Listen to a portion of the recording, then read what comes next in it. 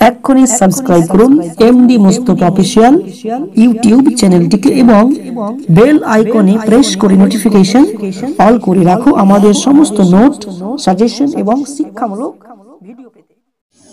প্রিয় শিক্ষার্থীরা আজকে আমি তোমাদের সামনে নতুন একটা ভিডিও নিয়ে হাজির হয়েছি। তোমরা জানো যে মহাবিদ্রোহের প্রকৃতি ও চরিত্র এই প্রশ্নটি অত্যন্ত গুরুত্বপূর্ণ একটি প্রশ্ন। এবং মাধ্যমিক পরীক্ষায় বিভিন্ন সালে এই প্রশ্নটি আসে। তাই তোমাদের জন্য এই প্রশ্নটির তার সঙ্গে উত্তরটি আমি আপলোড করে দিচ্ছি। তা প্রথমেই তোমাদের আমার চ্যানেলের পক্ষ থেকে স্বাগত জানাই। চলো প্রশ্নটির উত্তর এবং প্রশ্নটি শুনে নিই। প্রশ্ন হচ্ছে, মহাবিদ্রোহের প্রকৃত চরিত্র বিশ্লেষণ করো অথবা সঙ্গে মহাবিদ্রের চরিত্র বিশ্লেষণ করো। অত্যন্ত গুরুত্বপূর্ণ প্রশ্ন। লিখা আঠারো সাতান্ন খ্রিস্টাব্দের ব্রিটিশ বিরোধী মহাবিদ্রোহ অত্যন্ত তীব্র হয়ে ওঠে। ভারত ইংরেজ শাসনের ভিত্তি কাঁপিয়ে দেয় এবং এই বিদ্রোহের প্রকৃত চরিত্র সম্পর্কে পণ্ডিতের মধ্যে মতভেদ রয়েছে। প্রথম পর্বের সিপাহীদের বিদ্রোহ তোমরা জানো, যেখানে মত রয়েছে। Sir John Lawrence, John Seeley, Charles Rex প্রমুখ ইউরোপ ঐতিহাসিক মনে করেন যে প্রমুখরা মনে করেন যে আঠারো সাতান্ন খ্রিস্টাব্দের বিদ্রোহ সেটা কি ছিল? সিপাহীদের বিদ্রোহ অবশ্য, আর যদি অনেকে বলে যে এই বিদ্রোহ অনেকে যোগদান করেনি, অনেকে হয়তো নিজের স্বার্থের জন্য এই যুদ্ধে অংশগ্রহণ করেছিল, অনেকে এর বিরোধিতা করলেও আসলে মূলত এটা সিপাহীদের বিদ্রোহ। তাই প্রথম পয়েন্ট রয়েছে সিপাহীদের বিদ্রোহ। পরের পয়েন্ট রয়েছে সামন্তদের বিদ্রোহ। অনেকে এটাকে আবার সামন্তদেরও বিদ্রোহ বলা হয়। যেমন রজনী পাম দত্ত রমেশচন্দ্র মজুমদার সুরেন্দ্রনাথ সেন, মানবেন্দ্রনাথ রায় প্রমুখ আঠারো সাতান্নর বিদ্রোহকে রক্ষণশীল ও সামন্ততান্ত্রিক শক্তিগুলি উত্থান অভ্যুত্থান বলে অভিহিত করেছেন। তাদের মধ্যে নানা সাহেব লক্ষ্মীভাই কুনওয়ার সিং প্রমুখ ও সামন্তশ্রেণীর মানুষ এই বিদ্রোহে নেতৃত্ব দিয়েছিল। এটি ছিল ভারতের সনাতনপন্থীদের বিশেষ বিদ্রোহ। পরের যে পয়েন্ট রয়েছে, তোমাদের এই প্রশ্নে জনসাধারণের অংশগ্রহণ নটন ম্যারেসন জন এবং কে প্রমুখ আঠারো সাতান্ন খ্রিস্টাব্দে বিদ্রোহ একটি গণবিদ্রোহ বলে প্রমাণ করার চেষ্টা করেছেন, এমনকি ডক্টর সুরেন্দ্রনাথ সেন এই বিদ্রোহকে সামন্ত সেনের, সামন্ত নেতাদের নেতৃত্বের কথা স্বীকার করে আঠারো সাতান্ন খ্রিস্টাব্দে বিদ্রোহকে তার যে গ্রন্থ, সেই গ্রন্থে তিনি বলেছেন, বিদ্রোহ শেষ পর্যন্ত স্থানে গণবিদ্রোহ আকার নেই।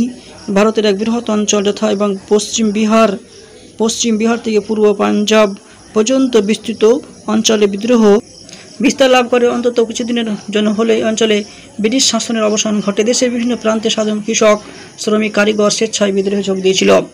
পরের পয়েন্ট হচ্ছে জাতীয় বিদ্রোহ, ঐতিহাসিক আউটরাম ড্রাফ রাটনসন স্টোরি দলের নেতা ইসরায়েলি সমাজতন্ত্রবিদ কার্ল মার্কস প্রমুখ। এই বিদ্রোহ জাতীয় বিদ্রোহ বলে আখ্যায়িত করেছেন, তার বিভিন্ন কারণও তারা ব্যাখ্যা করেছেন। পরের যে প্রশ্ন হচ্ছে, স্বাধীনতা সংগ্রামের প্রথম পদক্ষেপ অবশ্যই গুরুত্বপূর্ণ একটি পয়েন্ট পছন্দ পয়েন্ট বিনয় বিপ্লব বিনয় দামেদার সাভারকার বা বীর সাভারকার আঠারো সাতান্ন খ্রিস্টাব্দে বিদ্রোহকে ভারতের প্রথম সামন্ত ভারতের প্রথম স্বাধীনতা যুদ্ধ বলে করেছেন। এছাড়াও Karl Marx Engels, P C Joshi Ashok Mehta প্রমুখ হীরেন্দ্রনাথ মুখোপাধ্যায় প্রমুখকে আঠারো সাতান্ন খ্রিস্টাব্দে ভারতের প্রথম স্বাধীন সংগ্রাম বলে করেছেন। পরের প্রশ্ন পয়েন্ট রয়েছে, সর্বস্তরে ব্যাপক এবং প্রভাব আসতি এটা সবিস্তর ব্যাপক প্রভাব রয়েছিল। ভারতের জাতীয়তাবাদী ঐতিহাসিকগণ এই বিদ্রোহ ব্যাপকতা লক্ষ্য করে একে মহাবিদ্রোহ নামে অভিহিত করেছেন। হরিশ্চন্দ্র মুখোপাধ্যায় একে মহান বিপ্লব বলে অভিহিত করেছেন। এরিক স্টকস বলেছেন, বিদ্রোহ ছিল ভারতে ইংরেজ শাসনের বিরুদ্ধে সশস্ত্র আন্দোলনের শেষ অধ্যায় আন্দোলনে ইংরেজদের বিতরণের কথা ভাবা হয়েছিল। প্রিয় শিক্ষার্থীরা, শেষ রয়েছে তোমাদের উপসংহার। আরও সাতান্ন খ্রিস্টাব্দ বিদ্রোহের প্রকৃত সম্পর্কে বিভিন্ন পণ্ডিত, বিভিন্ন দৃষ্টিভঙ্গি প্রকাশ করলেও এসব দৃষ্টিভঙ্গির বিরুদ্ধে বিভিন্ন যুক্তি দেওয়া হয় আঠারোশো রমেশচন্দ্র মজুমদার বলেছেন আঠারোশো সাতান্ন বিদ্রোহের যথাকথিত প্রথম স্বাধীনতা সংগ্রাম সংগ্রাম, প্রথম নয় জাতীয় নয় এবং স্বাধীনতা সংগ্রাম নয়, M, E, M, S, Namboodiripad, এ বিদ্রোহের এবং গণচরিত্র অস্বীকার করে বলেছেন বিদ্রোহ যত সংখ্যক সৈন্য যোগ দিয়েছিল, তার চেয়ে বেশি সৈন্য, বেশি সংখ্যক বিদ্রোহ দক্ষিণ ইংরেজদের এবং সাহায্য করেছিল। এই জন্য বিদ্রোহ দমন করা সম্ভব নয়। অধ্যাপক এরিক স্টকস বেইলি, প্রমুখ মনে করেন বিদ্রোহ, স্থানীয় কৃষকদের প্রতিরোধ, জাতীয় প্রতিরোধ প্রভৃতি বিভিন্ন ধারা, উপধারার সংমিশ্রণ ঘটেছিল। শিক্ষার্থীরা ছিল তোমাদের জন্য অত্যন্ত গুরুত্বপূর্ণ মাধ্যমিক পরীক্ষার্থী, পরীক্ষার্থীদের জন্য সিপাহী বিদ্রোহের এবং চরিত্র এই বলে আমি সমাপ্ত করছি। দেখা হবে পরের ভিডিওতে। এক্ষুনি সাবস্ক্রাইব করুন এমডি মোস্তফা অফিসিয়াল ইউটিউব চ্যানেলটিকে এবং বেল আইকনে প্রেস করে নোটিফিকেশন অল করে রাখো আমাদের সমস্ত নোট সাজেশন এবং শিক্ষামূলক